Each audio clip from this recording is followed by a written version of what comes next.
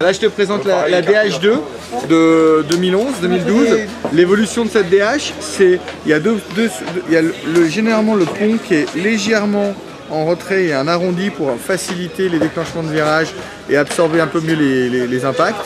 Et puis deux, au niveau du rocker, on a introduit le nouveau, les- l'hybride Twin Rocker, qui est en fait un rocker léger en spatule et en talon, Twin Tail, avec au centre, entre les deux pieds, un cambre classique pour pouvoir donner du pop à la borne, de la réactivité, mais de la facilité dans les déclenchements de virage.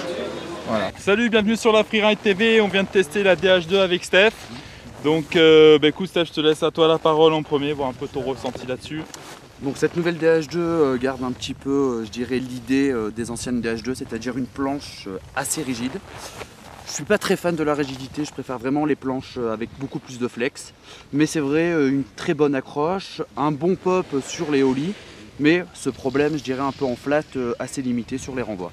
Bah, c'est vrai que je pense que c'est une planche qui s'adresse vraiment à, quelqu'un, enfin vraiment pour du pur freestyle backcountry, quelqu'un qui veut s'envoler haut et loin. En fait, c'est une planche justement qui est peut-être pas trop joueuse, mais qui est super rassurante dans les prises de vitesse. On l'a vu dès qu'on taille droit et tout, tout ça, on peut à la mat 15, il n'y a pas de problème, ça tient.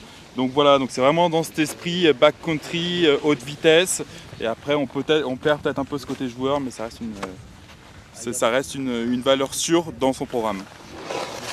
Ok, La semelle. bah merci beaucoup.